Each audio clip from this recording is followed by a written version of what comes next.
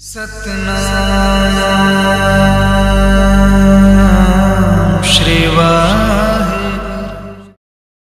ਮਾਤਾ ਤ੍ਰਿਪਤਾ ਜੀ, ਸਿੱਖ ਧਰਮ ਦੇ ਬਾਨੀ, ਜਗਤ ਗੁਰੂ, ਸ੍ਰੀ ਗੁਰੂ ਨਾਨਕ ਦੇਵ ਜੀ ਦੇ ਮਾਤਾ ਜੀ ਸਨ ਇਹਨਾਂ ਦਾ ਜਨਮ 1448 ਈਸਵੀ ਵਿੱਚ ਲਾਹੌਰ ਜ਼ਿਲ੍ਹੇ ਦੇ ਪਿੰਡ ਚਾਹਲ ਦੇ ਵਾਸਨੀਕ ਸ੍ਰੀ ਰਾਮਾ ਦੇ ਘਰ ਮਾਤਾ ਭਿਰਾਈ ਦੇ ਕੁੱਖੋਂ ਹੋਇਆ।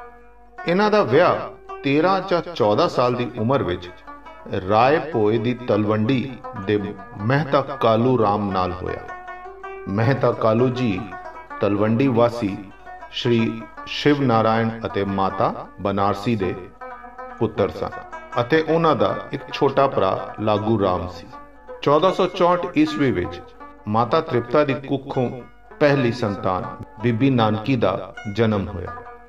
5 ਸਾਲ ਬਾਅਦ ਗੁਰੂ ਨਾਨਕ ਦੇਵ ਜੀ ਦਾ ਜਨਮ ਮਾਤਾ ਤ੍ਰਿਪਤਾ ਦੀ ਕੁੱਖ ਤੋਂ 15 ਅਪ੍ਰੈਲ 1469 ਲਾਹੌਰ ਤੋਂ ਕੁਝ ਮੀਲ ਦੂਰ ਸ਼ੇਖਪੁਰਾ ਜ਼ਿਲ੍ਹਾ ਪੰਜਾਬ ਪਾਕਿਸਤਾਨ ਦੀ ਰਾਏ ਭੋਏ ਦੀ ਤਲਵੰਡੀ ਵਿਖੇ ਹੋਇਆ।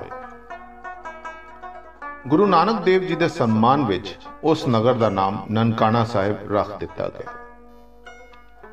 ਇਹ ਇੱਕ ਵੱਡਭਾਗੀ ਮਾਂ ਹੋਣ ਦੇ ਨਾਲ-ਨਾਲ ਬਹੁਤ ਸੁਗੜ ਸਿਆਣੀ ਅਤੇ ਸਚਿਆਰੀ ਇਸਤਰੀ ਸਨ।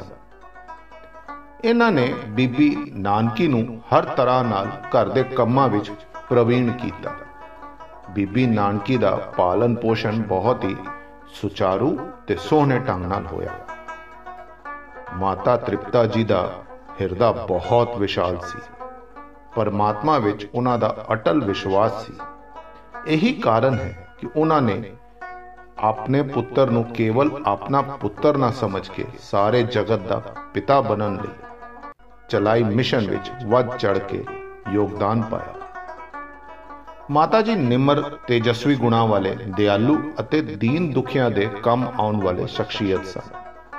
ਇਹੀ ਕਾਰਨ ਰਿਹਾ ਹੋਵੇਗਾ ਕਿ ਜਿਹੜਾ ਵੀ ਗੁਰੂ ਜੀ ਨੂੰ ਮਿਲਣ ਆਉਂਦਾ, ਮਾਤਾ ਜੀ ਉਸ ਨੂੰ ਪ੍ਰਸ਼ਾਦਾ ਛਕੇ ਬਿਨਾ ਨਹੀਂ ਸੀ ਜਾਣ ਦਿੰਦੇ।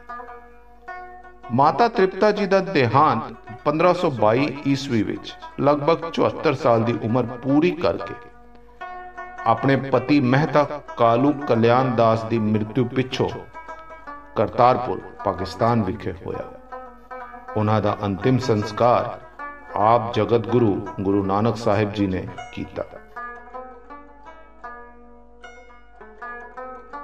ਅਸੀਂ ਇੱਕ ਗੱਲ ਜ਼ਰੂਰ ਦੱਸਣਾ ਚਾਹਾਂਗੇ ਕਿ ਇਹ ਸਾਰੀ ਜਾਣਕਾਰੀ ਤੇ ਫੋਟੋ ਜਨਤਕ ਖੇਤਰ ਵਿੱਚ ਉਪਲਬਧ ਹੈ ਜਿਸ ਨੂੰ ਅਸੀਂ ਲੜੀਬੱਧ ਕਰਕੇ ਤੁਹਾਡੇ ਨਾਲ ਸਾਂਝੀ ਕਰ ਰਹੇ ਹਾਂ। ਜੇਕਰ ਤੁਹਾਨੂੰ ਸਾਡੀ ਇਹ ਕੋਸ਼ਿਸ਼ ਚੰਗੀ ਲੱਗੇ, ਤੇ ਸਪੋਰਟ ਸ਼ੇਅਰ ਤੇ ਸਬਸਕ੍ਰਾਈਬ ਜ਼ਰੂਰ ਕਰਨਾ ਜੀ।